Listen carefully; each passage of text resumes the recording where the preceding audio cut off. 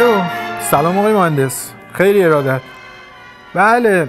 والا سخت الهام میده دیگه. ولی خب داریم کار می‌کنیم. بچه ها دارن کار می‌کنن. من خودم حالا اومدم چیزش کردم دیگه. اینو حالا بیشتر که می‌دونی این کامپیوترشه دیگه. اصل ماجرا کامپیوترشه. من حالا اومدم آوردم این در واقع تبلت رو آوردمش جلو. دل جلو داشبورد رو باز کردم. پیچه رو باز کردم. تبلت رو دادم جلو. خدا وکیلی پنج بار سورنا رو بالا پایین کردم. اصلا ندیده بودن. همه جا رو گشتیم. یه تبلت چینی پیدا کردیم که کلا اونم حالا ریجن چین در اومد. کار نمی‌کرد؟ نه کار نمی‌کرد دیگه. چینی بود زبونش چینی بود. هیچی برگشتم تبلت خودمون آوردم تبلت رو ریختم جا, جا دادم. یه روبیکا هم روش ریختم زدم تو یو اس بی کار کرد آره. ولی من میگم ما که هفته پیش این ایلان رو گفتیم اومدش من خودم باش مصاحبه کردم. می‌گفتیم می اومدین چهار تا اون مجوز رو بهش می‌دادیم این چهار تا ماشین هم می‌دید. یه چیزش می‌کردیم دیگه الهامش که الهام نمی‌خواست دیگه اینجا دیگه. اونو کلش ازش ازش پسپورتش رو می‌داد می‌رفتیم جلو. بله. باشه مهندس ما تلاشمون می‌کنیم ولی اگه الهام نداد دیگه تقصیر خودتونه دیگه. باش. قربونت برم. خدا.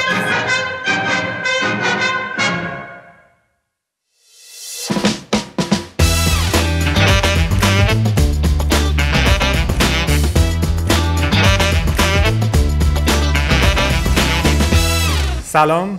خوش اومدید به یک برنامه دیگه تکشاخ.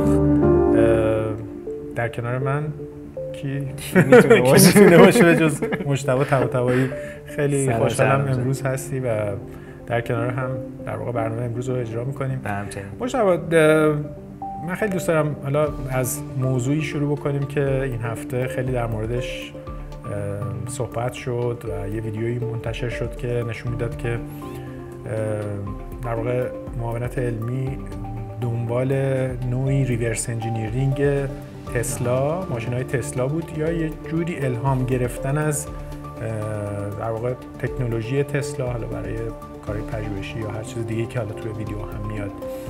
دوست دارم یه ذره در مورد این صحبت بکنیم به خاطر اینکه نوع نگاهی که ما به توسعه داریم رو می‌تونه تعیین کننده باشه در واقع به خصوص وقتی یه سیاست گذار یا یک نهادی که مهم هستش از جهت سیاست گذاری میاد در مورد یه تکنولوژی یک حرکتی رو انجام میده این خیلی مهمه. خب ما خب تقریبا دیگه شرکت تسلا رو همه می‌شناسن. می‌دونیم که ارزش های یه شرکتی مثل تسلا عمدتا روی پلتفرم نرم افزاری اون هستش توسعه‌ای که روی اون داده شده و اینکه آیا بشه از به یه شکلی از reverse engineering یا مهندسی معکوس مثلا ما بتونیم اینو در واقع این پلتفرم رو به نوعی ازش الهام بگیریم ایده بگیریم که بیایم مثلا یه محصول مشابه تولید بکنیم. خیلی کار پیچیده ای هستش چون به حال سخت افزارش که یه خودرو هستش. تو چطور می‌بینی؟ اساسا آیا ما می‌تونیم از یه محصول نهایی تکنولوژی یک ایده بگیریم به صورت مهندسی معکوس و باهاش یه محصول مشابه تولید کنیم؟ ویدیو جالبی بود. اشاره هم کردی و خب خیلی هم سر و صدا کردش. ببین چیز اولی که توجه من جلب کردیم بودش که خیلی حالت سیکرت و چیز و اینا مثلا به نظر می رسید که داره این اتفاق میفته و اولین چیزی که سوالی که به ذهن اینه که خب خود تسلا اصلا اوپن سورسه یعنی همه پتنتاش اومده. چند وقت پیش ایلان ماسک اومد به خاطر اینکه از محیط زیست حمایت بکنیم. چند سال پیش گفتش که میایم و همه رو اوپن می‌کنیم و هر کس دوستاش می‌تونه استفاده بکنه. یعنی خودشون اومدن عملا دارن اینا میگن. من ما یه حالت خیلی و می‌شد رفت اصلا از همون خودشون پلتفرم رو در واقع گرفت و اصلا موجوده. یعنی دانشش موجوده. یعنی چیزی که هست. و خود خود رو هم کالا به جز دیزاین در واقع چیز دیگه اصل ماجرا در واقع اون پلتفرم اینکه بشه مثلا یک در واقع مجموعی از سیستمی رو درست کرد که بتونه از طریق هوش مصنوعی و بله. ترکیبی از سنسورها بله. بتونه مثلا یک شناسایی از مسیر خود رو و ترکیب کردنش با مثلا نقشه و استفاده از حالا ساینا یا نشانهایی که توی جاده وجود داره و آبجکت هایی که در حرکتن رو بیاد مثلا به شکلی ترکیب بله. اینها رو شناسایی بکنه. بله البته ببین سیستمایی حالا FSD یا full self driving که تسلا داره و داره به مشتریانش عرضه هم می‌کنه هم مثلا حالت open source شون باز هستش. مثلا یه شرکت هست مثل comma AI که یه حالت گجت توریه که فکر کنم 2000 دلار اینطور اگر اشتباه نکنم شاید کمتر.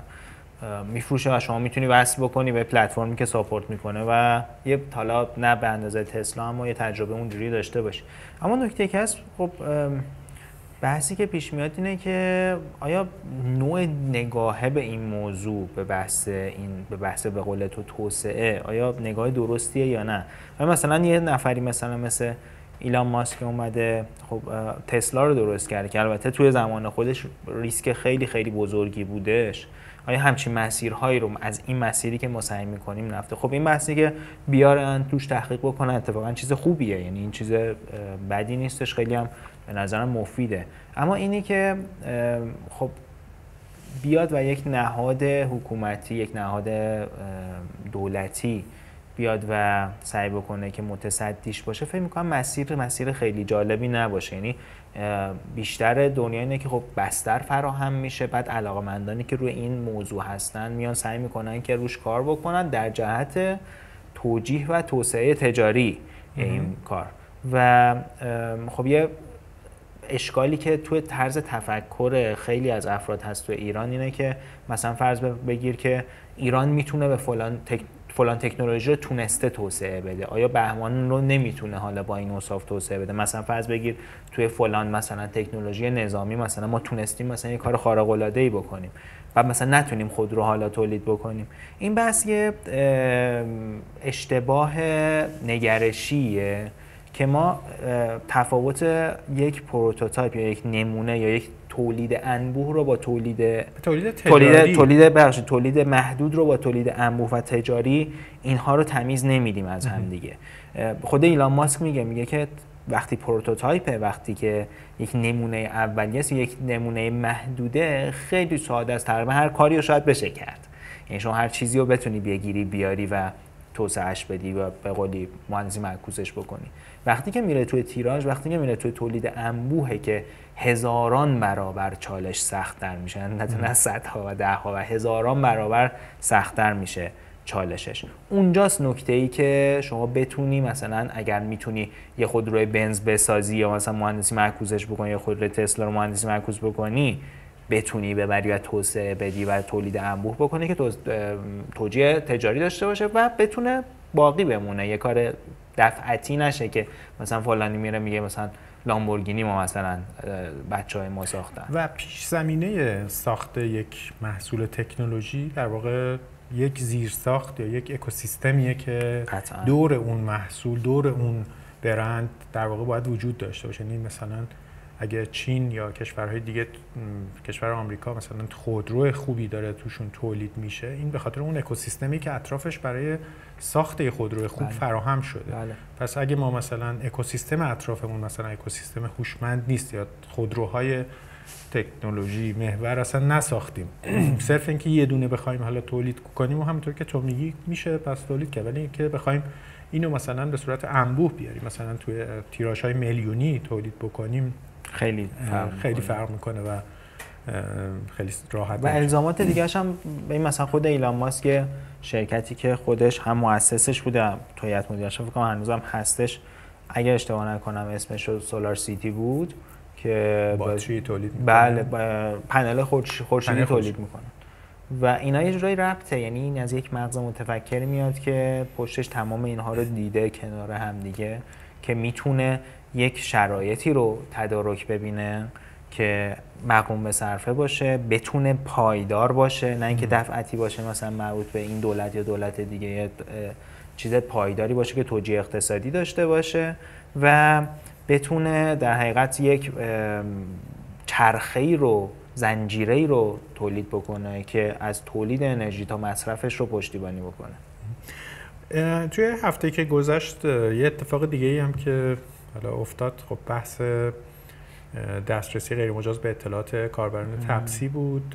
یه خبرهایی هم در مورد لو رفتن اطلاعات بیمه شدگان در چند شرکت بیمه حالا خبرهای ضد نقیزی بود که منتشر می‌شد و تایید و تکذیب های مختلفی در موردش شنیدیم و هک شدن در واقع باز لو رفتن اطلاعات یک سری کاربران برخی صرافی های رمزرز که اون رو هم در واقع باز تکذیب کردن. بحث داده خیلی بحث سابقه دار در ایران بحث سرقت داده ها و حالا data breach و حالا data leaks این دوتا هم خیلی با هم یه مقدار با هم, هم تفاوت دارن. ولی این دوتا چیزایی هستن که ما می‌دونستیم که مثلا خب این اتفاقات میفته یعنی وقتی نگاه می‌کنیم اکوسیستم مثلا امنیت ما خیلی اکوسیستم قوی نیست خب طبیعیه که وقتی داره تمام مثلا شرکت ها و حالا چه نهادهای دولتی چه شرکت های خصوصی دارن به سمت جمعآوری دیتا بانک های بزرگ داده پیش میرن. اینها به راحتی هم می‌تونه در دسترس همه قرار بگیره. بله. ما تو ایران نه قوانین واضحی در مورد داده داریم نه متولی که اصلا بیاد در واقع اصلا کسی کنترل بکنه و اصلا مقررات بگذاره و بتونه مثلا اینها رو ارزیابی بکنه که مثلا این شرکت ها چقدر در واقع دارن درست عمل می‌کنن چقدر هر حفاظت از داده ها در واقع دارن به یه شکلی استانداردها رو رعایت می‌کنن. کاری که حالا مثلا جی دی پی آر و بازوی اجرایی اون در واقع دارن توی اروپا انجام میدن توی آمریکا به یه شکل دیگه چندین قانون در مورد حفاظت از داده ها داریم. حالا توی اروپا خب خیلی سختگیرانه تر حتی مثلا اجازه در واقع حذف داده و یا اصلاح داده به کاربر. یعنی حقش در واقع این حق بله. داده شده که کاربر بتونه اینو بتونه حذف بکنه. ما تو ایران نیستش نه تنها این نیست بلکه حتی مثلا شما یه ساندویچ هم می‌خوای بخری الان در واقع ازت شماره تلفن رو می‌خوان و بلافاصله مثلا تمام اطلاعات زندگی شما با یه شماره تلفن و یه شماره ملی در اختیار همه الان هست آره. به شکلی آره. تو این فضا رو چطور می‌بینی فضای در واقع حالا مجموعه از فضای امنیتی نوع مقررات داده و در واقع دیتا توی ایران و از طرف دیگه در واقع حالا رفتار بازیگرای مختلف تو این حوزه. دو تا منظر من تو این موضوع اشاره بکنم بهش بد نیست. یکی اینکه شما بحثی که الان داریم روی این حوزه یه بحثیش هستش که این حوزه متخصص می‌خواد و یکی از چیزهایی که ما می‌بینیم و به سرعت داره رخ میده خالی شدن کشور از متخصص های خصوصا آیتیه که به خاطر سرخوردگی که پیش اومده داره کشور کمتر و کمتر خوب میره سمت اینکه متخصص خوب داشته باشه توی این حوزه. و حالا این این بحث بحث های تجاری و اینهاشه اما بحث های خب ما خیلی پیچیده ترش بحثای شرکت الان مثلا سکیوریتی که قوی باشه و بتونه خدمات security بده به مثلا کسب و کارها هم نداری که خیلی کمه. به خاطر اینکه شاید اصلا کسب و کار اولویتش نباشه. اینم اینم یه بحثه اجازه فعالیت هم به شکلی نمیدن. یعنی به هر حال اینها یه شرکت های مهمی هن که در واقع می‌تونن به هر حال مثلا شریک بزرگ شرکت های اصلی ایران باشن که الان داده دستشونه شرکای مثلا اپراتورها باشن که بزرگترین بانک های داده ای کشور الان دست این اپراتورهاست و حالا باز مثلا در مورد تپسی ما دیدیم که بلافاصله اذعان به اینکه چنین نفوذی صورت گرفته انجام بله. شد و به شکلی تپسی خب تایید کرد که این کار انجام شده. ولی ما در مورد خیلی اتفاقات مشابه اساسا یا با تکذیب مواجهیم یا اساسا ازش کنارش میگذره مثلا بله. کسی مطلع بله. نمیشه بله.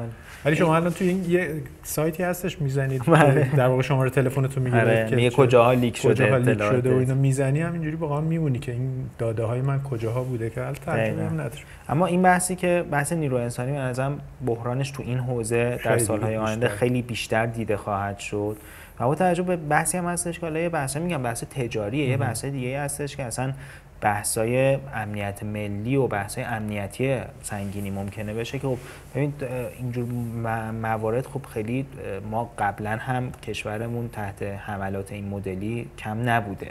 حملات سایبری سنگینی که یه مستند خیلی خوبی هست به اسم زیرو دی توصیه می‌کنم دوستان ببینم برای بحث استاکس نتی هستش که روی انرژی هسته ما. اومدن و حمله را انجام دادن. وقتی کشور از متخصص خالی بشه دیگه تعارفی واقعا نیستش و این روندیه که ما الان به وضوح داریم می‌بینیم. و بحث دیگه هم که تو این حوزه می‌خواستم اشاره کنم شما بحثیه که از اون سمتش هم هست. یعنی از اون ور چیزم خیلی از موارد میفتیم که مثلا خیلی شرکت هایی که می‌خوان با داده کار بکنن به صورت استاندارد و با رعایت تمام مقررات و ضوابطش نهادهای حکومتی نهادهای دولتی سعی می‌کنن که data رو از اون سمت خیلی ندن و در سمت خودشون نگه دارن و خیلی با خساست رفتار می‌کنن نسبت به data یی که بتونن در در جهت حفظ امنیت داده خیلی نمیشن باز گفت در جهت حفظ. بیشتر بحث اینه که تنگ نظریه و اینه که خودشون فکر می‌کنن که می‌تونن مثلا محصولات مثلا fintech ی مثلا بیارن. مثال تو حوزه فینتک مثلا خیلی زیاد اتفاق میفته بیارن و رقابت بکنن با بخش خصوصی. این اتفاقات هم متاسفانه کم نیستش. یعنی از اون ور بوم هم می‌بینیم که افتاده آره و اینکه به حال این این حوزه حوزه خیلی عجیبیه و همونطور که تو گفتی در واقع این این مدل اتفاقات رو ما در آینده هم می‌تونیم در واقع با این روندی که داره پیش میره ببینیم. و بعد از طرف دیگه خب نگاه که می‌کنیم می‌بینیم که هیچ کسی هم متولی گری این حوزه رو بر عهده نمی‌گیره و اساسا حالا مثلا توی آمریکا خب عملا اگه اشتباه نکنم حالا یادم رفت کدوم نهاد بود. فکر کنم همون یادم رفت. ولی یه نهادی مستقلا این موضوع رو بر داره. یه چیزی که می‌خواستم بهش اشاره کنم اینه که تو ایران به دلیل همون چالش هایی که گفتی که مو هر موضوعی هم حالا به حوزه امنیت ملی ارتقا داده میشه این حوزه از اون واقعیت های خودش در واقع به سمت یک موضوع حیثیتی برای ملی تبدیل شده. برای همین مثلا نهادهای دولتی ما بلا فاصله شروع می‌کنن protect کردن حتی مثلا میزان خسارتی که انجام شده. یعنی یا اینکه مثلا خب اینو از زاویه این نگاه می‌کنن که بخوان کنترل کنن که مثلا نگرانی عمومی ایجاد نشه. ولی از طرف دیگه خب هیچ یادگیری برای آینده هم اتفاق نمیفته وقتی بله، شما این بله. کار می‌کنی خب اگه شما مثلا الان به این شکل با یک کسب و کارهایی که یا با نهادهایی که نهادهای دولتی زیادی داریم که داده ها بله، و اینا اتفاق میفته داده ها رو لو میدن. اگه شما مثلا مقصرای اینا رو شناسایی نکنید اگه مسیرهای نفوذ رو شناسایی نکنید و اینها رو براش در واقع جریمه نبرید و اینها رو نتونید در واقع به نوعی در بیارید که اصلا چرا همچین اتفاقی افتاده خب این فایده ای نداره. در آینده هم این اتفاق میفته و حالا هر کسی هم که دیتایی رو داره میگه خب چه اتفاق نمیفته کاری می‌کنیم یا به کسی نمیگیم یا چه می‌دونم یه اطلاعیه میدیم حل میشه میریم.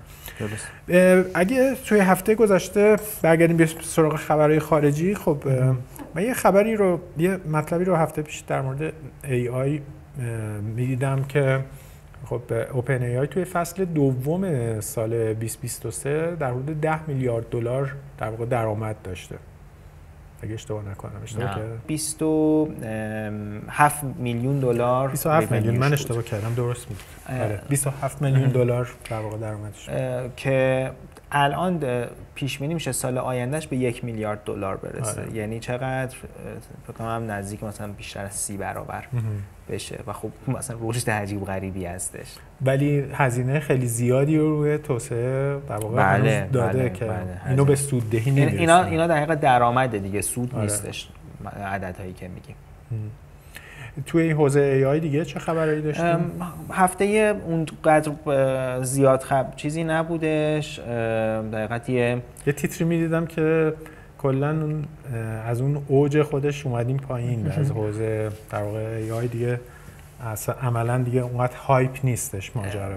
یه توی عموم جامعه خب یه مدت مثلا خیلی صحبت میشه اما خب تو فضای حرفه‌ایش و آکادم آکادمیک و حرفه‌ای و به قول تو business هنوز می‌بینیم که خبرها کم نیستن. اما سرمایه گذاری هایی که به خصوص کشورها دارن تو بله،, بله. خرید تراشه های انویدیا الان دارن انجام میدن. سرمایه های خیلی بزرگیه. دقیقا. یه خبر جالبی که داشتیم بحث تکنولوژی fingerprint گوگل بودش برای اینکه بتونه بیاد و از محتوا حفاظت بکنه. چون یکی بحثایی که داریم توی حوزه امضای دیجیتال برای آره به الان مثلا توی یوتیوب و اینا هستش همچین اتفاقی. یعنی تو اگر بیای از یه مثلا ویدیویی استفاده بکنی توی مثلا ویدیو خودت از جای دیگری اینو تشخیص میده. که دقیقت کد گذاری شده است طوری که تو متوجهش نمیشی. اما این امبد شده توش و تشخیص میده که مال کیه و اگه حالا ممکنه که تو اینستاگرام هم تقریبا همین بله بله دقیقاً. یوتیوب خب اصلا یه بحثی از DeepMind که هستش توی این موارد ورود کرده از توی قسمت هوش مصنوعی گوگل. الان داره این رو توسعهش میده به سمت سرویس های AI اگر اشتباه نکنم اسم سر... تکنولوژی و سرویسش SynthID بودش که گوگل توسعه داده بود و خب چون یه چالشی میشه. مثلا فکر کن انتخابات ریاست جمهوری آمریکاست و ممکنه که هزار یکی دیپ فیک بیاد و استفاده بشه. خب اگر اون تصویر مرجعه در حقیقت یه مشخص نباشه. داشته باشه. تو خیلی سریع می‌تونی بگی که این تصویر تصویریه که دستکاری شده. تصویر مرجعش چیز دیگری بوده. تو بحث generative AI خب بحثای کپی رایتی و بحثای creator ا یا تولید کنندگان محتوا خب یکی از چالش ها شده. خب اینها میرن یاد می‌گیرن از محتواهای مختلف و حقوق اونایی که من مثلا فرض به که یک تصویری تو generate کردی که base ش مال مثلا عکسی بوده که یه, عکاسی گرفته بوده. خب این زای... ممکنه که کپی رایت اون عکس خدچه دار بشه یا اینکه حق حقوق اون عکاسی که مرجع بوده عکسش ضایع بشه که این تکنولوژی اینطوری می‌تونه تا حدی این نگرانی ها رو برطرف بکنه. قطعا برطرف کنه اما می‌تونه کمک بکنه. در جهت حداقل درستی هستش. خیلی جالب بود. دیگه خبر دیگه ای که تو این خبر دیگه ای که حالا اخبار ریس کردن بود شرکت های مختلفی که دارن توی حوزه های من legal دیدم حوزه حقوقی مثلا شرکت هایی که توی حوزه AI خوب پول raise کرده بودن. توی یکی از خبرهای جالبی که من خوندم بحث این بودش که توی فضای drone racing مسابقات سرعتی پهپادها. اومد و یکی از مدل های هوش مصنوعی اومدش و نفرات برتر دنیا نفرات اول دنیا تو این حوزه که آدم بودن رو شکست داد. و خبر تجربی هم نداره که چون که خود درون در واقع کاملا مبتنی بر یه تکنولوژی که می‌شده. بله در واقع بله. هوش مصنوعی رو روش سوار کرد. اما این به نظرم یکی از چیزاییه که می‌تونیم حالا توی فرصت بهتری تو برنامه روش واقعا صحبت بکنیم بحث درون ها و ترکیبشون با هوش مصنوعی. خیلی فضای بزرگی هستش که میشه استفاده مختلفی ازش داشت و خیلی جای من خیلی دوست دارم درون racing رو بریم تجربه کنیم چون من خیلی دوست دارم. یعنی کلا پهپادا رو و اگر دوست داری احتمالا رو VR ش همین الان بتونی این کار رو بکنی بدون اینکه خیلی هزینه خاصی اون چیزش اون اون, اون تجربه رو نمیده بهت. یعنی حالا تجربه که خودم توی داشتن drone داشتم و اینا حالا برای تمرین معمولا از VR ش میشه استفاده کرد و اینا ولی drone racing یه چیز دیگه است و اساسا نوع drone اش هم فرق می‌کنه بله. و کاستوم هستش آره خیلی کاستوم تو کلا باید یه عاشق در واقع ساخت یه محصول در واقع الکترونیکی باشی که حالا تو ایران هم خیلی فکر نمی‌کنم تعدادشون زیاد باشه و بشه مثلا حتی تکنولوژیش هم داشت یا دیوایساشو داشت. در حال حالا اون چیزی که علی تسلیمی اشاره می‌کنه مثل همیشه که گردنش گردنمون رو داره می‌زنه و اینکه برنامه وقتش تموم شده. ولی اگه چیز نکته دیگه ای داری بگو اگه نه نکته دیگه نیست. همون بحث آخرون به نظرم بحثیه که می‌تونیم روش صحبت بکنیم و جای حتما توی هفته بعد در موردش صحبت می‌کنیم. اگرم جایی میشناختی که میشه رفت تست کرد بگو هم بریم تست کنیم. مرسی مشتبه پس تا هفته آینده باید خداحافظی می‌کنم. خب بریم سراغ بخش گپ و گفت امروزمون با نیما نامداری مدیر عامل شرکت کارنامه. گفتگویی کردم که بریم با هم ببینیم.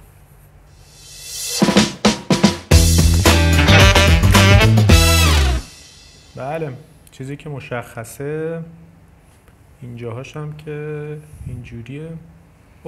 این اینجا هم که این شکلیش کردین که چه کردین؟ آقا دستون درد نکنه به حال ما دیدیم همه پاشون تو کفش دکترا می‌کنن گفتم ما چرا نکنیم؟ آره. آره ما پامون تو کفش دکترا کرد به نوعی از این استفاده کردید. همزمان هم شده بود کمپین ما با روز جهانی دکتر. نه بابا. بله ناخواسته بود ولی بسیار هم عالی به ایده خیلی جالبی برای تبلیغ هستش و خیلی هم فکر کنم همه احتمالاً دیدنش به عنوان یه تبلیغ. یادمون رفت سلام علیک بکنیم. سلام عرض می‌کنم خدمت دوستانی که دارن برنامه تکشاخ رو می‌بینن. خب میهمان من همونطور که احتمالا شاید بشناسینشون جناب آقای نیما نامداری هستن مدیر عامل کارنامه و یکی از چهرهای شناخته شده توی فضای استارتاپی ایران. نیما جان خیلی خوش اومدی به تکشاخ سلامت باشید متشکرم. خیلی ممنون از دعوتتون. سلام هم می‌کنم به بینندگان شما. با افتخاری که در خدمتتون هستم. قربونت. مرسی از تو نیما خب چیزی که داشتم به ذهنم میمد این بود که یک چهره لطیف و یه زبان گزنده و پرنقد در واقع داره و یه جوری اینو خوب ترکیبم کردی با هم و ولی خب یه مقدار هم هنوز شاید خیلی ها بات کم و بیش آشنا نباشن. یعنی حتما با نوشتهات با سخنرانیات مصاحبات و اینا آشنا هستن اگه توی فضای استارتاپی بوده باشن. ولی دوست دارم یه مقدار در مورد خودت بگی. من خودم تا اونجا رو می‌دونم که حالا یه گپی هم قبل از مصاحبه با هم زدیم. خب یه بخشی یه جاهایی هم با هم همکاری داشتیم توی فضای رسانی. ولی تو یه مدت خیلی زیادی یه تجربه تو صنعت مالی داشتی و بعد کلا اومدی به سمت فضای استارتاپ ها. ولی اگه خودت بگی که در واقع چه بگیراندی داشتی خیلی بهتر خواهد حالا شاید بعد نباشه بگم تازه 58 و 44 سالمه.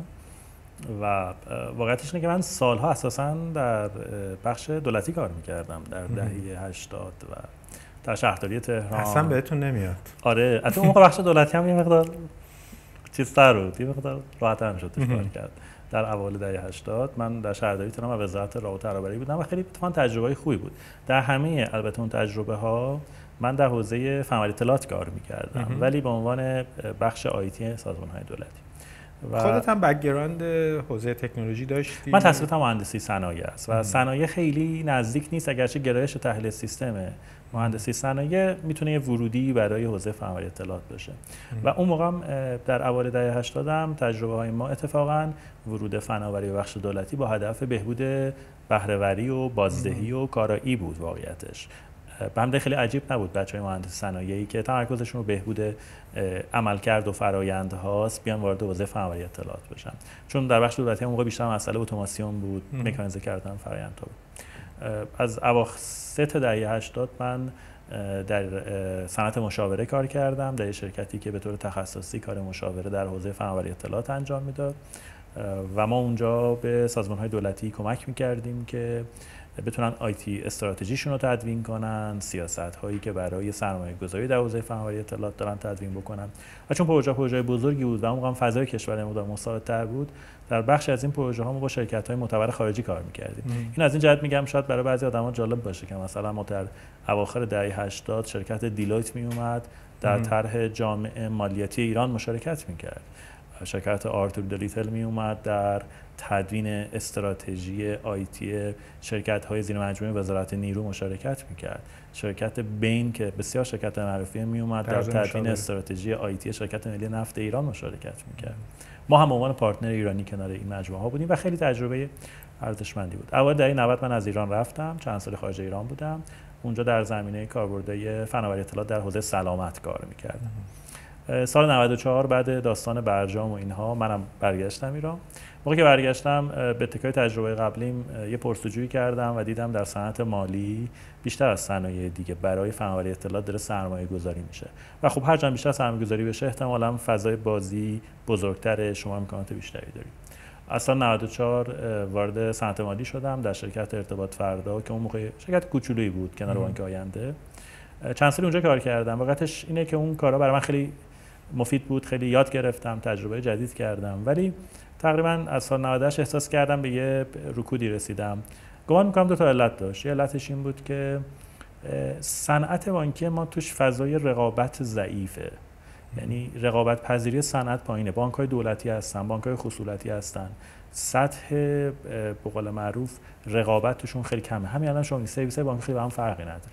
این پایین بودن رقابت باعث میشه شما وقتی از موضع تکنولوژی داری اونجا تلاش می‌کنی مدام دچار مشکل بشی. احساس بکنی تو نمی‌تونی مزیتی خلق بکنی که مشتری حسش بکنه. و یه جایی به بعد حتی باعث میشه سقف آدم هم بیاد پایین. چون خروجیشون خیلی تأثیری روی سهم از بازار نداره. خودمونی بگم همین الان شما می‌بینید show off در صنعت بانکی کم نیست. چه مدام افتتاح رویداد. بعد نگاه می‌کنیم این سرویس انقدر چیز عجیب غریبی هم نیست. انقدر متفاوت نیست. ضمن اینکه رگولاتوری هم خب خیلی مهم بود صنعت مالی به شدت رگولیتده و شما در اون موقع هم خب اولین قدم های مربوط به فینتک رو داشتید برمی داشتید بله. مثلا بله. اپلیکیشن هایی بله. که داشتید می‌دادید شاید هم حتی یه مقدار زود بود برای جامعه ایران که اصلا با این فضا آشنا بشه هرچند خب به حال از همون دهه اواسط دهه 90 به نوعی شاهد اصلا حوزه های مختلف در واقع تکنولوژی و استارتاپی بودیم دیگه. ببینید من حرفتون رو می‌فهمم نظر من زود نبود. نبود. در قیاس با کشورهای مشابه در منطقه در جهان ما خیلی هم عقب بودیم هنوزم هستیم. به لحاظ ظرفیت ها و قابلیت هم که به لحاظ سمت بازار مشتریان داریم به نظر من اصلا اون موقع از کشور دیگه عقب نبودیم. همه زمین ها فرمود من فکر کنم به لحاظ پذیرش ذهنی مدیران ما یه مقدار تاخیر داریم. ما موقع مثلا جایی به نام فینوتک رو ایجاد کردیم که پلتفرم بانکداری باز بود. من خاطرم از جلسه هیئت مدیره بانک ها می‌رفتم و در مورد بانکداری باز توضیح می‌دادم که بسیار بسیار عنوان رایجی در دنیا بود. بسیار بسیار در رویدادها مقالات می اومد در بخش مهمی از بانک های معروف ما اعضای هیئت مدیره وقتی من گفتم بانکداری باز این دو واژه اساسا برایشون نامفهوم بود. من خاطرم هست یه جایی مدیر عامل بانک من گفت آقا مگه ما تا حالا بانکداری بسته داشتیم که حالا تو مثلا بانکداری باز میاری. می‌خوام بگم مثلا مانع این ذهنیت ها بود. و regulation هم خیلی مهمه. تنظیمگری و رگولاتوری در صنعت بانکی به شدت سختگیرانه و به شدت به نظر من ریسک گریزه به حال مجموعه باعث شد که من فاصله بگیرم از و اومدین سراغ بخش استارتاپی و فعالیتتون رو بیشتر بله. متمرکز این حوزه کردیم بله من همون موقعم که اونجا بودم به واسطه اینکه ما یه مجموعه فینووا رو ایجاد کردیم و شروع کردیم کار با استارتاپ ها من اونجا واقعا برام جالب شد. خیلی خیلی دیدم چه جالب چه فرصتایی چه امکاناتی چه در این حال ج... کار جذابی هم هست. هیچ وقت خودت به این فکر نکردی که خودت در واقع بنیانگذار استارتاپ بشی؟ چون با توجه به شناختی که خودم از شما دارم به نظرم می‌تونستی مثلا حتما هم داشتی ایده هایی که خودت اصلا شروع کنی روش کار کردن و آره آره جذب آره. سرمایه هم بکنی. آره من اتفاقا اون موقع که فرد اومدم این کار اینجوری انجام دادم. خیلی شکل استارتاپ به معنای این که واقعا از صفر یه سری کوفاندر دور هم جمع بشن نبود. ما مجموعه نام بلوس رو انداختیم که هدفش ایجاد یه پلتفرم آنلاین برای سرمایه گذاری مذرت بخوام برای پسنداز خانوارهای های طبقه متوسط بود. یعنی عددهای کوچیک که خیلی الان تو بازار پول و بازار سرمایه تحویلشون نمی‌گیرن. شما الان مثلا چه می‌دونم یه میلیون تومن داشته باشی نه سبدگردان ها خیلی باتون صحبت می‌کنن نمی‌تونید بری رب سکه بخرید نه ارز. با یه میلیون تومن چیکار میشه کرد؟ هیچ. ایده ما این بود این یه میلیون تومن ها 500 هزار تومن ها این عددا رو شاید بلد ببریم توی صندوق ها. آره آره. شاید آره. منطقه آزاد اون کارو بکنی. ارزم بزرگتون اونجا این کارو من شروع کردم. الانم بلوط هست خیلی هم موفق رشد کرده با بعضی از مجموعه بانکی هم داره کار می‌کنه. ولی ساختار چیزش به دلیل اینکه تو اون صنعت منم از اون صنعت اومدم صنعت مالی. واقعیتش اینه که تو بدون نزدیک نهادهای بزرگ مجوزدار کار عجیبی تو ایران نمی‌تونی بکنی. و من ترجیح دادم که ترکیب مشارکت کنندگان در بلوط این امکان رو بده که خیلی پشت در رگولاتور نمونه. کنار بانک باشه کنار یه کارگزاری باشه کنار یه گردان باشه که بتونه با مجوزهای اونا کار به نتیجه چی شد؟ بلوط؟ بلوط الان داره رشد می‌کنه خوب کار می‌کنه. در آخرین راند جذب سرمایه‌اش مجموعه داتین از زیر مجموعه فناب. سرمایه گذاری کرده روی بلوط و خیلی هم موفقه و خیلی هم کسب کار جالبی. البته که رکود بازار سرمایه به بلوط هم لطمه چون بلوط داشت این پولای خورد و جمع می‌کرد ببره توی صندوق های سرمایه گذاری و وقتی صندوق های سرمایه گذاری بازده مناسبی ندارن تأثیری می‌ذاره. ولی فقط به عنوان یه جمله که شاید جالب باشه ما تقریبا 90 هفته از تأسیس از یعنی از لانچ اپلیکیشن بلوط میگذره. توی این 90 هفته بازار سرمایه اگر برید نگاه کنید چیز حدود 74 5 هفتهش خروج سرمایه حقیقی ما داشتیم. یعنی فقط 15 هفته سرمایه حقیقی ورودش بیشتر از خروجش بود. در بلوط از این 90 هفته چیز نزدیک 85 هفتهش مثبت بوده. یعنی ورود سرمایه حقیقی داشته. کاملا برعکس. علتش این که با استفاده از قابلیت های مثل دیرکت بیت و قابلیت های کیف پول یه امکان قلک دیجیتالی که پول بره در بازار سرمایه ولی در صندوق های سرمایه گذاری مجوزدار سرمایه گذاری بشه ایجاد شده. و خیلی آدمایی که این کار دارن می‌کنن در اصل پولای ریز ریز روزمرهشون اونجا مثل قلک پس من از اون تجربه خیلی خوشحالم باش افتخار و یه تجربه دیگه هم باز تو حوزه سرمایه گذاری شما داشتین تو حوزه استارتاپی جوانه بود اگه اشتباه نکنم. اونجا عضو حالا جوانه بله. بودین. جوانه البته خودش استارتاپ نبود. جوانه شرکت سرمایه گذاری گروه هزار دستان بله. بود. یعنی من موقعی که سال اواخر 99 با دوستان هزار دستان به جمع بندی رسیدیم که با هم همکاری کنیم. اولین مأموریت من ایجاد شرکت سرمایه گذاری گروه هزار دستان بود به اسم جوانه.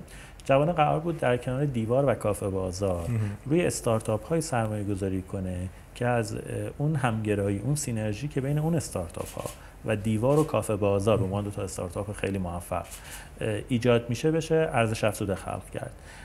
خیلی با قول معروف با برنامه جدی و انگیزه و منابع قابل توجه. تاسیس شد؟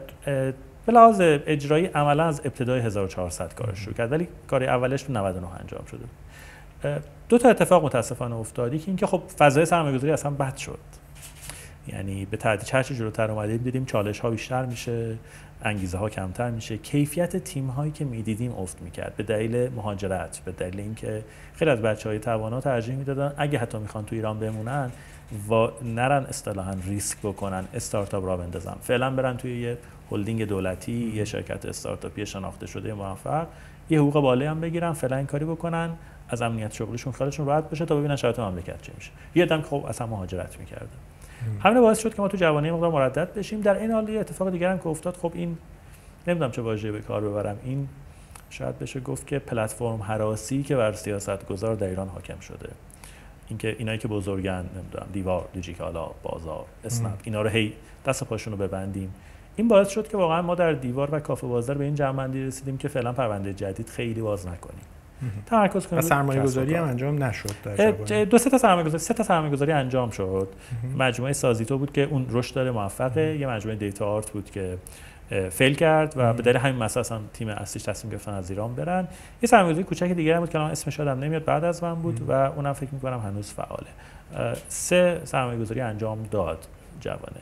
ولی بیشتر از تا دیگه نشد و به اینجا من در گروه رسیدیم که کارشو متوقف کنیم و بعد شما تصمیم گرفتین که بیاین توی مجموعه کارنامه در واقع یک مجموعه‌ای که اون هم باز وابسته به گروه هزار دستان هستش و بیشتر می‌خواد توی حوزه خودرو به عنوان یک پلتفرمی که برای شناخت و در واقع اسس کردن یا شناسایی به نوعی مشکلات یا وضعیت یک خودرو هستش و دادن یک کارنامه یا یک در واقع اعتبارنامه برای اینکه دقیقا وضعیت این خودرو چی هست فعالیت می‌کنه. نمی‌دونم تعریف بله درستی بله بله, بله تعریفتون درسته. ببینید کارنامه کارش سال 98 شروع کرده. ایده بنیادینش هم این بوده که به حال بخش مهمی از معاملات خودرو ایران به خصوص در معاملات خودرو دست دوم داره روی دیوار انجام میشه. ایده این بوده که خب حالا که ما داریم توی معامله بخش آگهیش رو انجام میدیم یکم بیایم جلوتر. بخش کارشناسیش رو هم انجام بدیم. کسی که آگهی میده یا کسی که یه توی آگهی ماشین رو می‌بینه اینا همدیگه رو نمی‌شناسن. معلوم نیست ماشین چه وضعیتی داره. ما سرویس کارشناسی بدیم که کارشناس بره سر قرار بازدید از طرف خریدار ماشین رو بررسی بکنه وضعیت بدنش وضعیت فنیش هم کمک کنه به تعیین قیمت ماشین. چون ماشین دست دو قیمتش توی معامله شکل می‌گیره دیگه.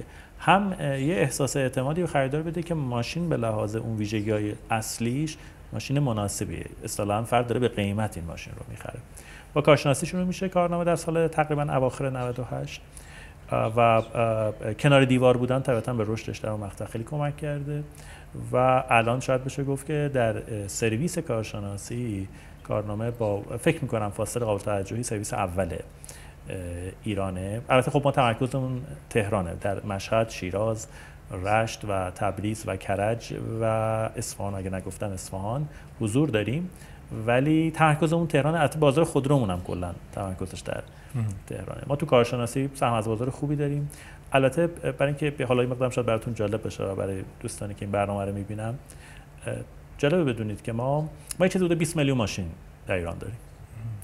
از این 20 میلیون تقریبا سالی 5 میلیونش معامله میشه. یعنی بتونه متوسط مردم چهار ساله بار ماشینشون رو معامله می‌کنن. 80 تا 85 درصد معاملات ماشین ماشین دست دومه در کل ایران. و تقریبا 20 تا 25 درصد بازار خود رو هم تو تهرانه.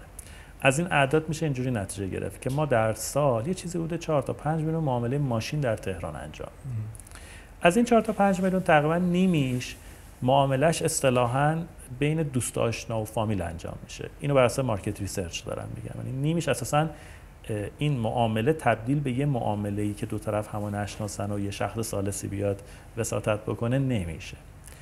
از اون نیمه دیگه یه چیزی تقریبا از اون 50 درصد باقی مونده. ما تقریبا فرضمون اینه که یه چیزی حدود سی درصدش ماشین هایی که قیمتشون انقدر پایینه. که برای فرد نمیصرفه بره سرویس کارشناسی بگیره. یعنی ماهیت مسئله مثلا فرض شما پراید مدل چه می‌دونم مثلا 86 الان بخواید بخرید احتمالا فقط بعد بدنش رو نگاه بکنید که تصادفی شدید نباشه. وگرنه خب ماشین لکه داره رنگ داره چیز فنیش هم اینقدر پیچیده نیست. کارشناسی نیاز نداره. از اون بخش باقی مانده که اساسا ما میگیم کارشناسی توش monetize میشه. یعنی میشه سرویس تجاری برای کارشناسی ارائه کرد اگه اونو اندازه بازار بگیریم تقریبا 30 درصدش در اختیار کارنامه است. و یه چیزی حدود میشه گفت که 60 درصدش تو فضای آفلاین داره اتفاق میفته تقریبا مکانیکی تو کوچه خیابون اتاق نور هایی که هستن. زیادی از در واقع همین حالا نمی‌دونم اسمشون چی میشه گذاشت فروشگاه که نه در واقع مغازه کارشناسی مغازه‌ای که کارشناسی میگن اتاق نور.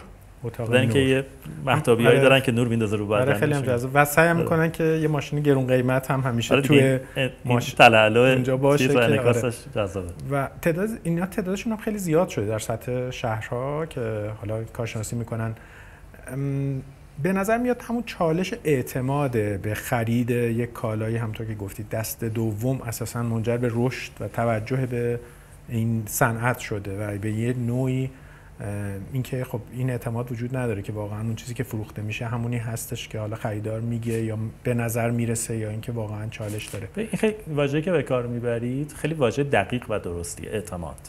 اساسا نه فقط در خودرو در معامله هر چیز دست دومی این دو طرف معامله چالش اعتماد دارن.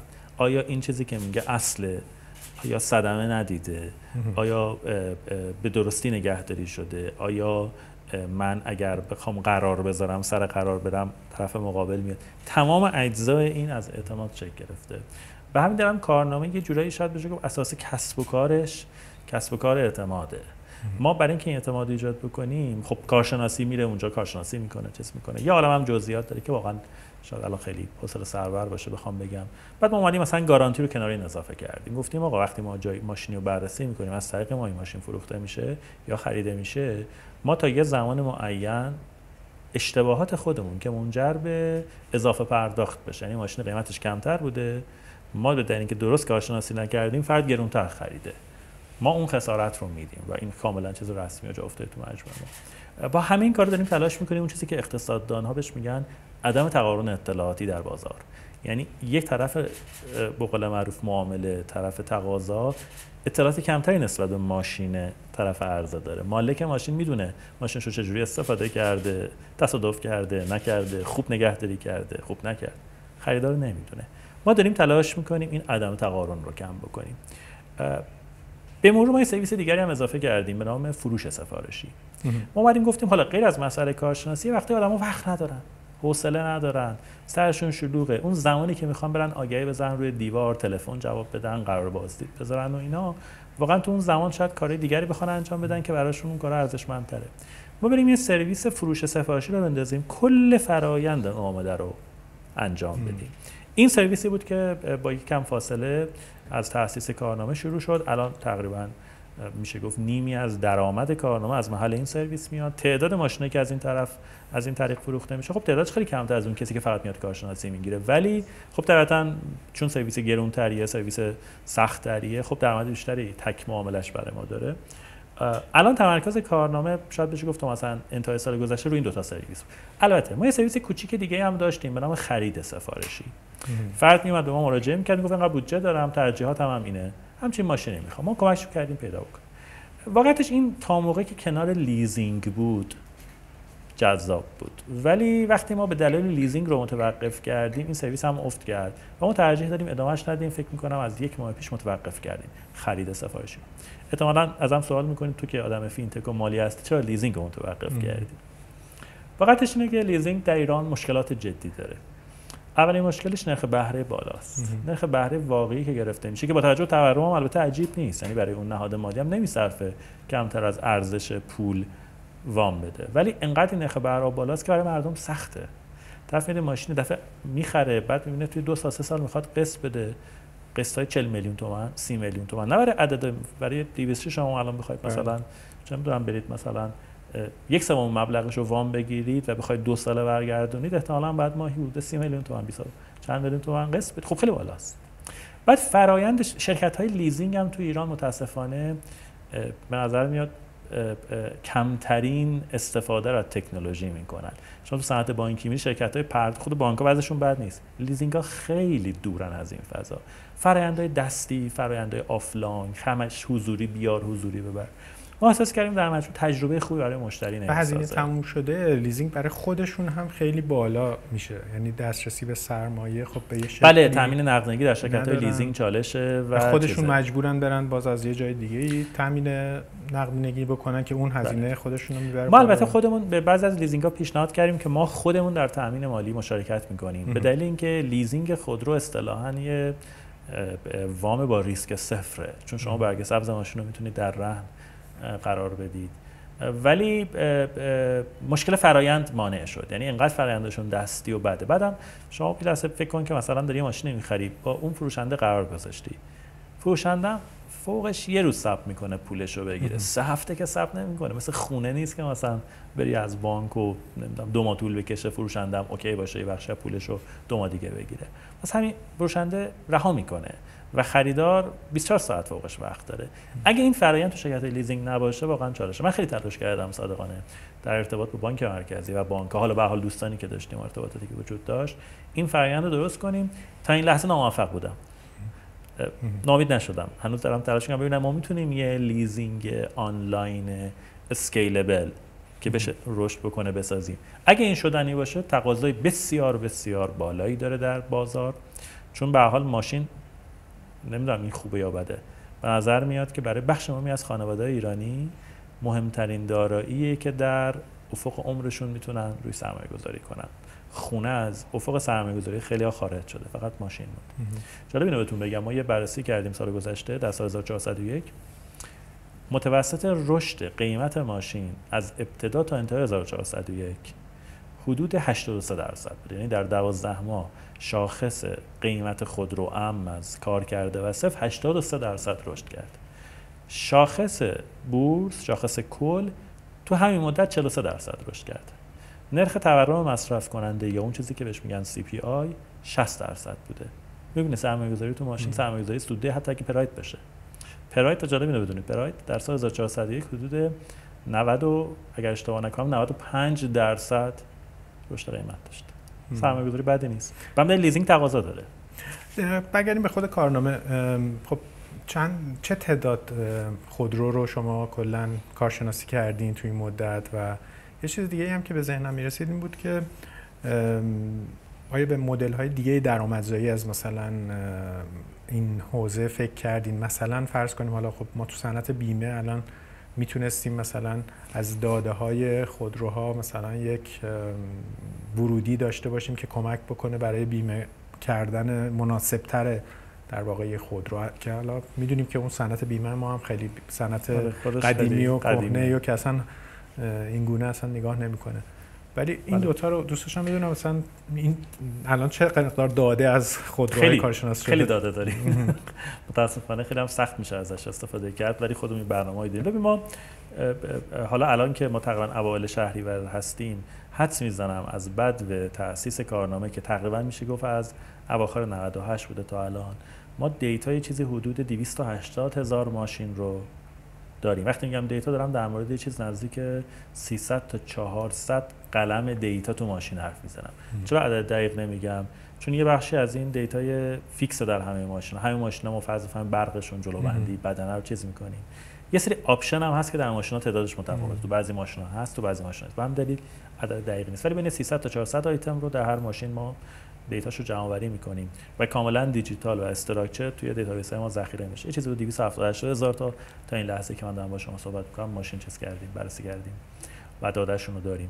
خیلی هم تنوع داره داده ماشین ها در این حال ما به دلیل نوع سرویسی که داریم به مشتری میدیم اطلاعات مالکیتی ماشین هم داریم. یعنی می‌دونیم ماشین رو مالکش کی بوده؟ شرطش چی بوده؟ بلاز دموگرافیک چیه؟ خانم آقای نمی‌دونم خونش کجاست؟ کدوم محل است؟ کدوم منطقه است؟ از ماشین مایلجش چقدر بوده؟ اون کیلومترش چقدر بوده؟ داده بسیار ارزشمند داریم. ما چند بار تلاش کردیم این داده ها رو با نهادهایی که با مجموعه هایی که میشه باشون کار مشترک تعریف کرد شیر بکنیم. تا حالا موفق نبودیم. یه سرویس جدیدی رو شروع کردیم از تقریبا دو ماه پیش سه ماه پیش به نام سرویس خدمات دوره‌ای. ما تو این سرویس تصمیم گرفتیم یه گام بیایم جلوتر. از نقطه معامله فراتر بریم. کسی که ماشین رو خریده حالا یه سری خدمات دوره احتیاج داره. من تو پرانتز دو تا عدد بگم شاید براتون جالب باشه و بگم چرا این سرویس به نظر من خیلی سرویس می‌تونه جذابی باشه. ما الان از این 20 میلیون ماشینی که تو مملکت داریم بنا به تعریف میگن ماشینی اگر 15 سال از عمرش بگذره ماشین فرسوده محسوب میشه. این تعریف سازمان استاندارد ایران. 45 درصد ماشینای ما با این تعریف فرسودن 45 درصد این 20 میلیون ماشین فرسوده اینو داشته باشید. حالا بخوام یه ذره مثلا چیز جالبم بگم. ماشین اگر 20 سال از عمرش بگذره بعد اسقاط شه. احتمالا این چیز نزدیک 20 25 درصد ماشینای ما اسقاطن. یعنی باید خارجن. سالی ظاهرا 500 هزار ماشین باید از چیز خارج که نمیشه. حالا ما الان با یه بازاری روبرو هستیم که این بازار به شدت ماشین های توش قدیمی پر خرج برای نگهداری و طبیعتا ناایمن و آلایندن به دلیل اینکه ماشینا قدیمی شده بنزین بیشتری مصرف می‌کنه مشکل تنظیم داره. ارزم به حضورتون که و چون ماشین دیگه عمرش عمر به مفیدش گذشته نگهداریش پرخرجه باید عوض شه سرویس شه. و طبیعتا این ماشین ناایمن هم هست چون هزار و یک ایراد داره. ما با یه همچین صنعت خودرویی رو برو هستیم.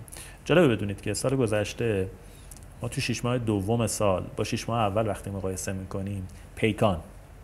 پیکان که الان شاید خیلی ماشین ندونن مثلا نوستالژیک باشه.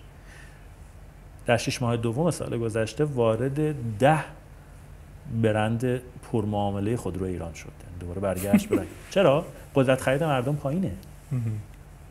مجبورم برن ماشین ارزون تر بخرن و بازار خودرو هم در واقع در واقع سیاست های دولت که اجازه نداد در واقع واردات خودرو انجام بشه بله، بله. هم خیلی تاثیر گذاشته توی بله، همچین وضعیتی. یعنی اونه که اصلا در واقع خودرو رو به یک کالای سرمایه ببینید ما الان بازار خودرومون در ایران.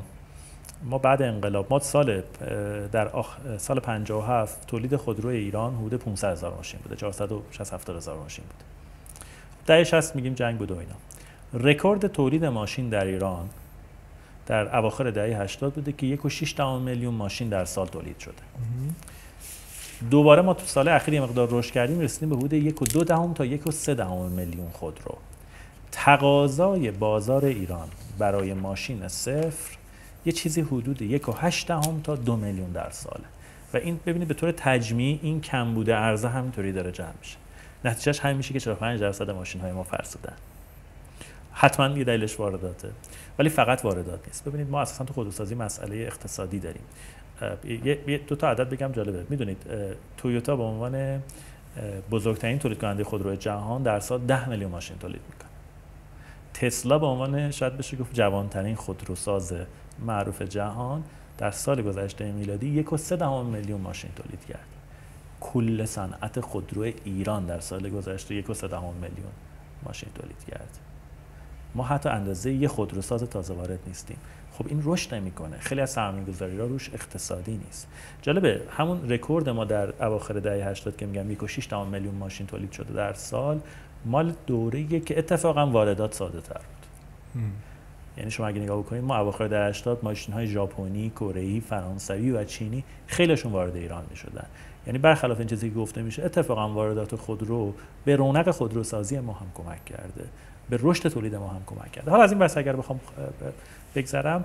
بله ما سرویس خدمات دوری رو دقیقا به همین دلیل ایجاد کردیم. احساس کردیم انبوهی ماشین وجود داره که اینا ماشینای دست دومن و گارانتی ندارن دیگه تولید کننده نمیده و, و مشکل هم دارن. و نیاز به تعمیرات دارن. خب طبیعتا این سعی کردیم پس وارد بازار تعمیرات شیم. بله ما الان با سرویس دوره‌ای شروع کردیم که اون سرویس هایی که به طور روتین انجام میشه. مثل مثلا کنترل مثل بحث های مربوط به چکاپ سلامت خودرو تعویض روغن صافی لنت چشم این چیزهایی که به طور روتین باید انجام بشه. این سرویس رو در محل انجام میدیم.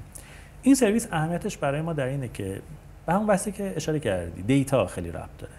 ما داریم تلاش می‌کنیم داده که از ماشین داریم در موقع معامله رو استفاده بکنیم سرویس خدمات دوره‌ای رو مناسب سازی بکنیم برای کاربر. یعنی بهش توصیه بکنیم با تجربه شرایط ماشین تو باید اینجوری فلان چیزا عوض کنی فلان و بعد اینا رو در فلان تاریخ انجام بدی. این داده ها رو بعدا توی موقعی که می‌خواد مثلا فرض کنیم ماشین رو دوباره بخواد بفروشتش در اختیار خریدار بعدی می‌گذارید یا نه؟ پیچیدگی هایی وجود داره. من چون داشتم فکر می‌کردم اونجا خیلی به سخت واقعا جمع کسی که دور به طور دوره‌ای داره از ماشینش در واقع سرویسش رو داره انجام میده خب طبیعتا با کسی که اصلا بهش توجهی نکرده و فقط موقعی که می‌خواد بفروشتش بردتش کار باشه آوردتش.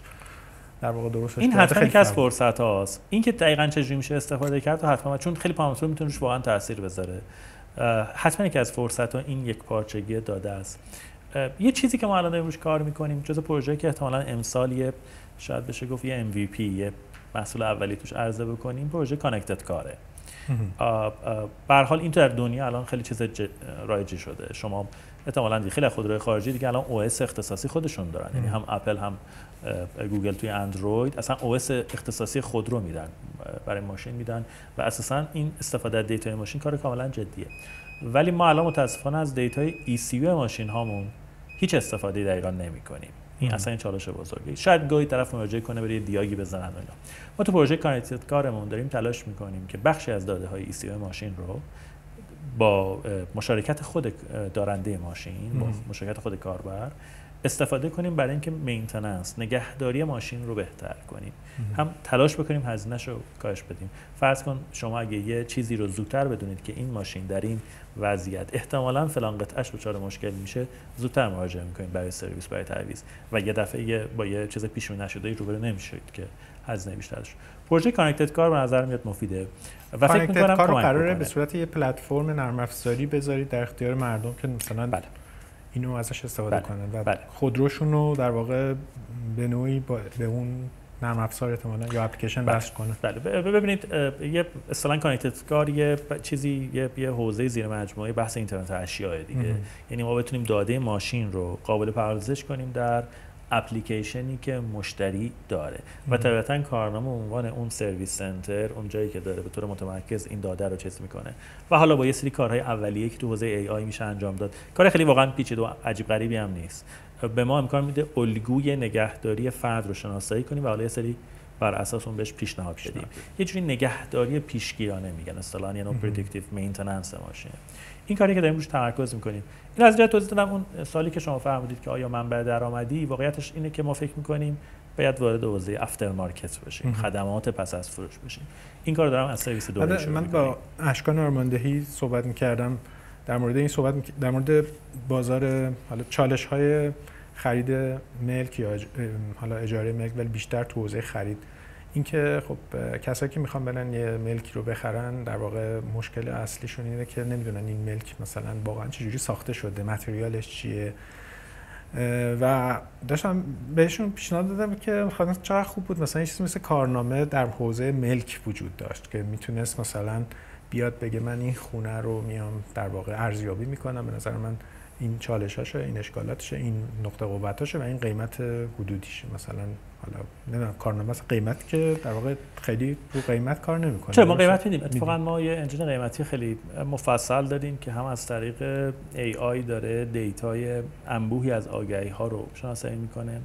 هم از کف بازار با یه مکانیزم network که داریم مدام استعلام قیمت انجام میدیم. چرا ما اتفاقا همین الان قیمتی که رو آگهی های دیوار منتشر میشه از انجین قیمتی کارنامه داره استفاده میشه و یه همکاری ما و دیواره.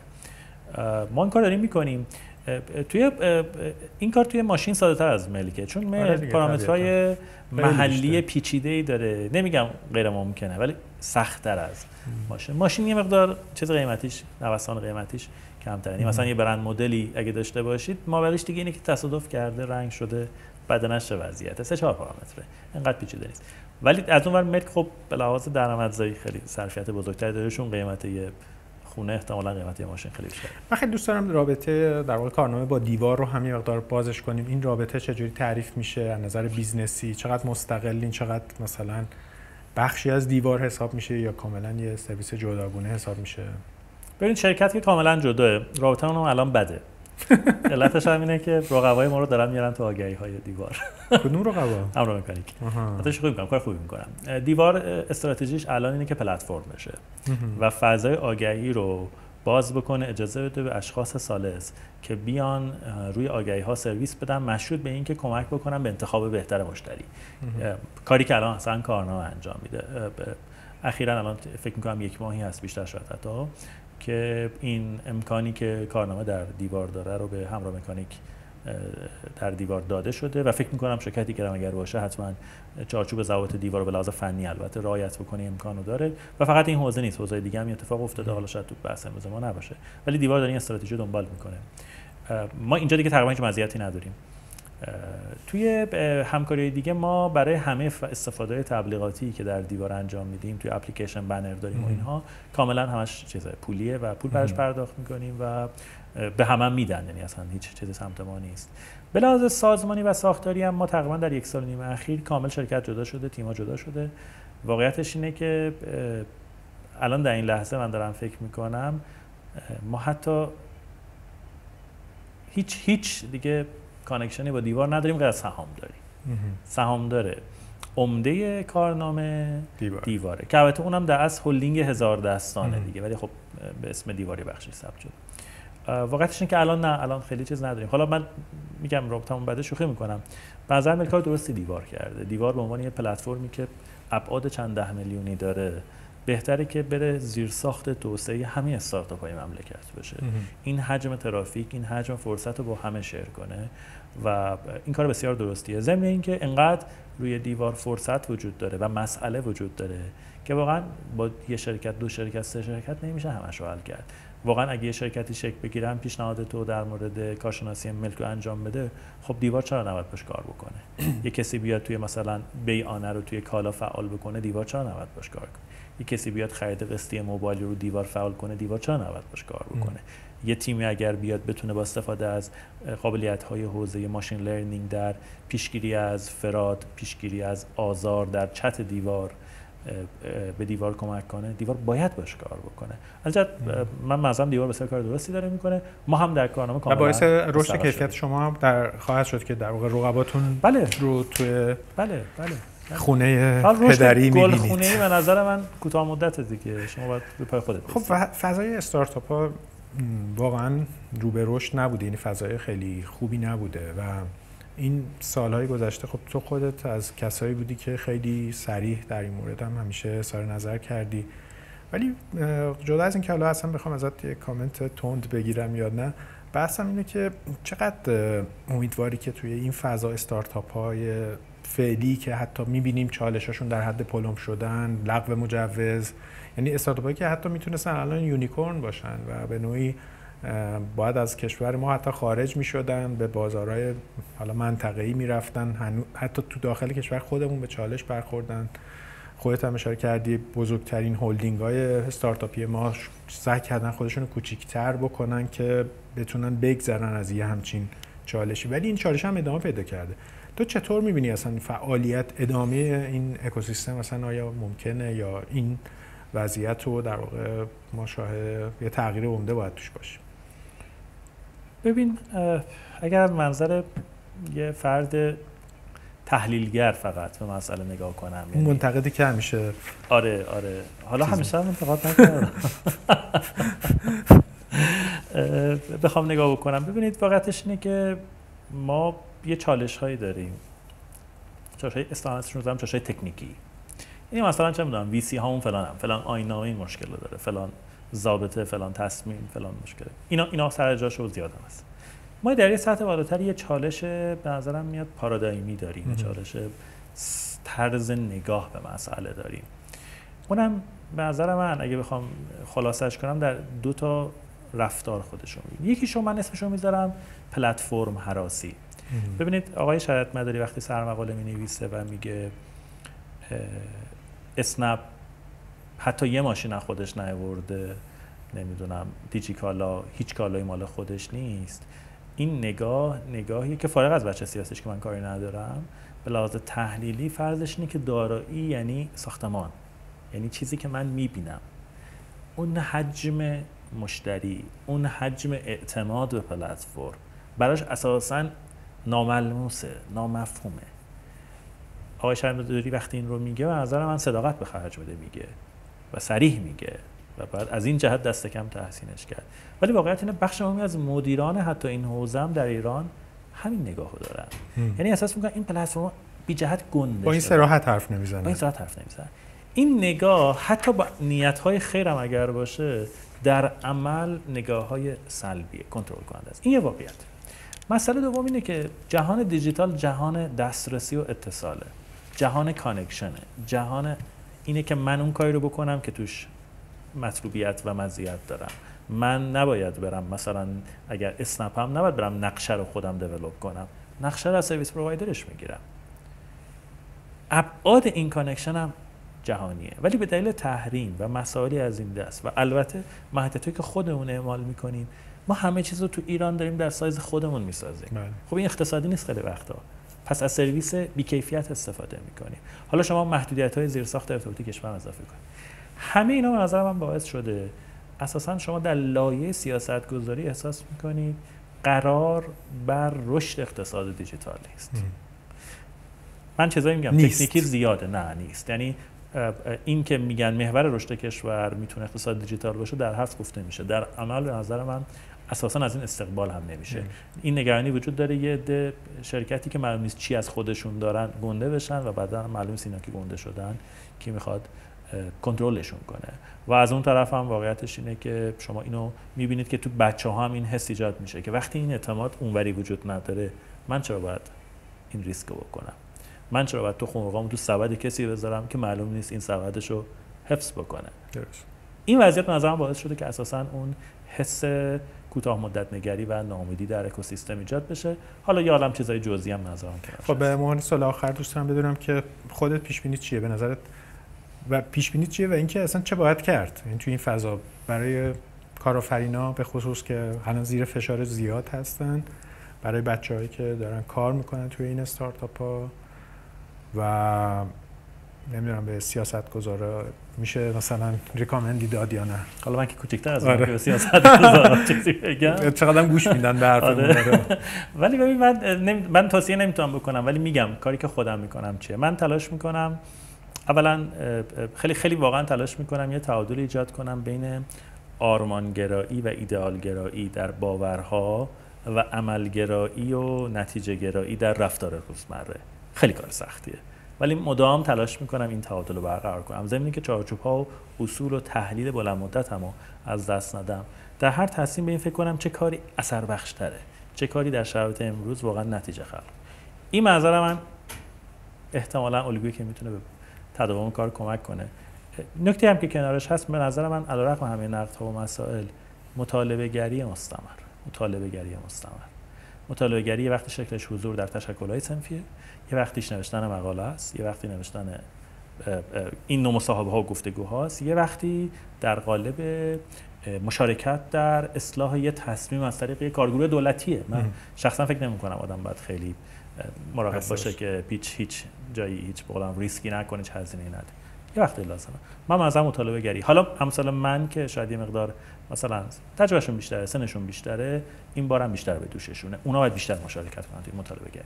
نیما نامداری عزیز خیلی ممنون که توی برنامه تکشاخ حضور پیدا کردی. واقعا لذت بردم از گفتگوهاتو ممنون از تو. افتخار بود. برای من. خواهش می‌کنم.